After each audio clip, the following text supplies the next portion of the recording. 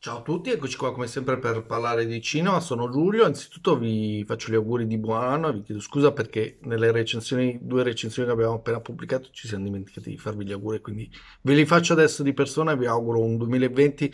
eh, bello, sereno e pieno ovviamente di cinema visto in sala. Volevo fare la recensione di un film che esce in questi giorni nelle sale italiane, che esattamente esce il 13, 14, 15 gennaio, quindi lunedì, martedì e mercoledì di, della settimana che entra, che è eh, Leonardo le opere. Eh, Leonardo da Vinci è stato festeggiato in maniera eccelsa, giustamente in tutto il 2019 per i 500 anni dalla, dalla sua morte. Questo è un film conclusivo di questo uh, percorso che ha portato al cinema tantissimi film, uh, vado a memoria almeno 3 o 4, solo in, in un anno dedicato a, una, per, a un artista, dire un artista anche eh, limitativo, a un genio, un genio assoluto in qualunque campo si cimentasse era, era veramente un, un'apoteosi e questo è un, un percorso, un docufilm eh, che traccia una, un viaggio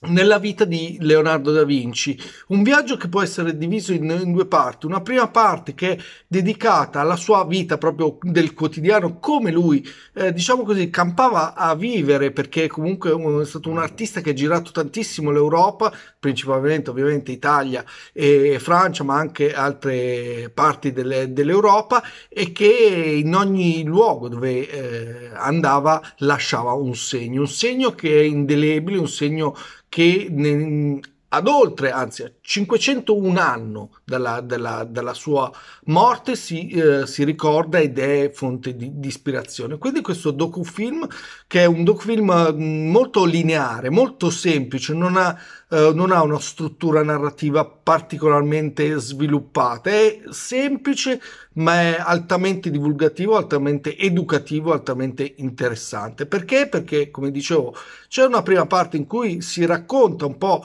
eh, la sua quotidianità, il suo, la sua vita, sia di uomo che di artista, come si è mosso eh, tra le varie corti, tra, eh, nei rapporti con i, i vari ehm, conti, signori con cui si è dovuto a, confrontare o con i vari personaggi illustri, anche papi della, della, della politica del tempo. E un'altra parte che è la seconda parte, un documentario dura circa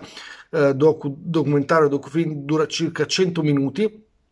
c'è una parte veramente molto molto interessante su tutte, su tutte, su tantissime opere, sono circa una, una ventina le, le, le, più famose, ma anche quelle meno famose ovviamente c'è la, la Gioconda, l'Ultima Cena, eh, la donna con, con l'Ermellino, Salvatore Mundi, eh, tutte le grandissime opere, tante altre eh, vengono eh, analizzate e vengono analizzate per ogni opera viene dato un 5-6 minuti di approfondimento, che è un approfondimento sia visivo molto interessante ed è uno dei motivi per cui a me questo fenomeno della grande arte al cinema piace da morire perché ho la possibilità di vedere veramente da vicino, quasi di sentire il, il profumo del, de, della pittura, del, de, de, dell'opera e gustarmela così da vicino in una definizione ultra HD eccelsa per cui e, e, tra l'altro se uno non ha la possibilità di visitare tutti questi musei dove tutte le opere di Leonardo sono sparse in giro per l'Europa e il mondo, è un modo veramente intelligente e utile per poterle vedere e le vedi proprio da vicino, addirittura di più che eh, quando si va a vedere un, un museo, in primis eh, ne vedo diversi e però non, eh, devo dire la verità, non me la riesco a gustare così come mi capita al cinema, perché il cinema è un luogo buio dove sei concentrato a guardare quello che si proietta davanti allo schermo e non hai alcun'altra uh, distrazione. Quindi secondo me si gusta ancora di più il, il dettaglio delle opere perché eh, il quadro nella sua interezza lo, lo, vediamo, ma il particolare secondo me è il, il, tocco in più che rende questi artisti dei maestri e degli assoluti geni. E quindi vedendolo al cinema riesco a gustarmi di più questo particolare, a capire anche di più. Eh, da semplice spettatore la, la tecnica utilizzata e la, la qualità artistica del, dell'uso del, del, colore, delle luci, delle ombre e di come la figura viene, viene fuori. Questo documentario fa questa cosa in maniera um, veramente notevole, eh, nonostante ribadisco che è l'unica critica che mi sento di fare a questo documentario, nonostante una struttura veramente lineare, semplice, basica, per cui eh, basta solo seguirlo il film, non, non, non vengono fatti particolari eh, ragionamenti, è una serie di aneddoti e di informazioni spiegate benissimo, chiarissime e dirette, per cui lo spettatore nel, nel guardare apprende ehm, tantissimo di, di, di, chi era Leonardo da Vinci, dove era nato, anzitutto si parte proprio dalle, dalle, dalle sue eh, origini ehm, e di come lui si è trasformato e si è relazionato con le, con le, con le figure eh, politiche. Ed è eh, visivamente eh, meraviglioso, soprattutto la, la, seconda parte che è proprio eh, una, un'analisi delle, delle opere che scorrono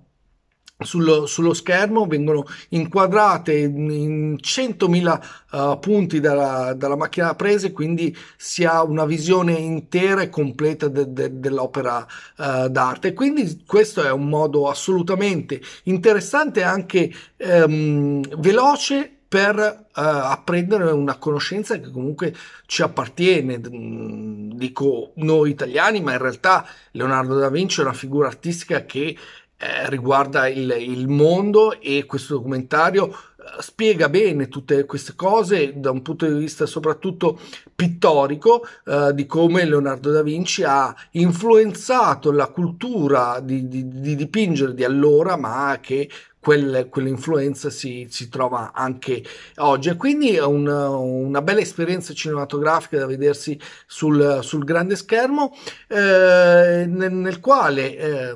oltre alla parte appunto iniziale documentaristica del, della vita di Leonardo con eh, immagini anche ehm, da, diciamo così d'archivio cioè di manoscritti dove si, si racconta eh, co- cosa ha fatto. Eh, intervengono vengono dei personaggi illustri del, del settore che ehm, alcuni raccontano eh, particolari della, della, vita di, di Leonardo, altri eh, raccontano e spiegano in maniera assolutamente chiara, precisa e diretta il significato di, di certe opere di, di, di Leonardo, il, lo studio che è stato fatto per, uh, per crearle e il significato uh, simbolico che in tante opere uh, vengono, vengono fuori. Quindi il risultato è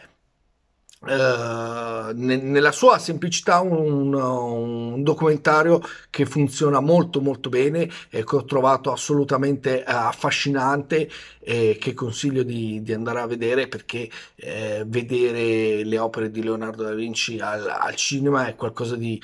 clamoroso su, su, un bel grande schermo um, a cui devo aggiungere ehm, nel, nel, nel, montaggio soprattutto nella seconda parte viene sentito una musica uh, da, da, tappeto, una musica di, di, di, di atmosfera che rende le, le opere assolutamente uh, magiche e affascinanti. E, e, insomma, è, il, è, il, è, il, è, uno dei grandi motivi per cui la musica ha così presa nel, nel cinema perché eh, sottolinea, eh, esalta il, quello che, eh, che, vedi come fanno le, le colonne sonore nei, nei film uh, dei blockbuster, dei film mainstream. Ecco, anche nel documentario esalta l'eleganza e la bellezza del, de, delle opere, in questo caso di, di, di Leonardo da Vinci, che a distanza di 501 anni eh, è un, un'icona assoluta della, del, della cultura, dell'arte, dell'intelligenza, del genio, della creatività, insomma, qualunque assoluto positivo vi venga in mente applicato a Leonardo è, è, è è, è, appropriato. Questo è quello che volevo dire in merito alla, alla, recensione di Leonardo, le opere, che appunto, ripeto, esce il 13, 14, 15 di gennaio, quindi questa, questa settimana è un film che assolutamente vi consiglio. Per questa recensione è tutto, vi rinvito a iscrivervi al canale YouTube di Cine TV Landia e alla prossima. Ciao!